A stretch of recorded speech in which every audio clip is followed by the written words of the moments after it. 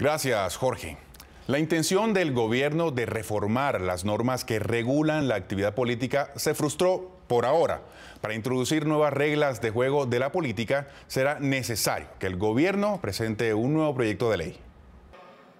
La reforma política era la generación de nuevas normas políticas para no cometer irregularidades administrativas a la hora de realizar coaliciones, cambio de partido político, transfugismo y generación de listas de candidatos al Senado y la Cámara dentro de los partidos.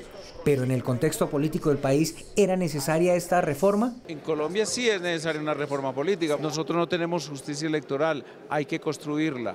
Nosotros no tenemos fiscalía electoral. Y así en general, por ejemplo, las listas cerradas y abiertas.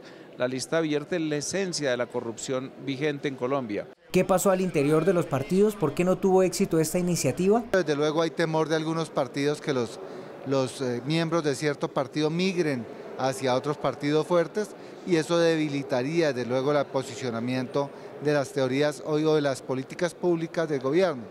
¿Es necesario volver a presentar una reforma política en el país? Sería muy importante que en un inmediato futuro el país se propusiese, particularmente, claro, eh, el sector de la política en hacer a fondo una reforma que entrañara las modificaciones del sistema electoral, el sistema de elección de los miembros de las corporaciones públicas, la financiación de las campañas, eh, las listas cerradas, el voto pedagógico u obligatorio, como le llaman algunos, en fin. Varios senadores desde ya planean la estructuración de un nuevo proyecto de ley de reforma política con nuevas reglas de juego y será presentado mediante trámite ordinario y no por fast track para hacer un estudio juicioso y sin afanes del tema.